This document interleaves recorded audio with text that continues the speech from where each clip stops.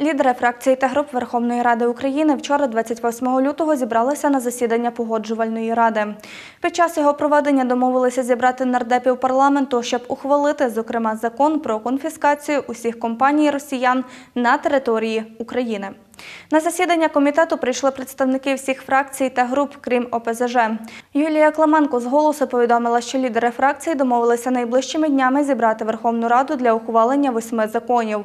Дмитро Разумков повідомив, що підготовлено також звернення від Верховної Ради до Євросоюзу щодо негайного прийняття України до ЄС за спеціальною процедурою та звернення до Генеральної асамблеї ООН з вимогою виключити РФ з Ради безпеки ООН. Російські олігархи та великі підприємці володіють в Україні десятками підприємств. Серед наближених до Путіна свої інтереси в Україні має і олігарх Олег Дерипаска, і тютюновий король Ігор Кисаєв.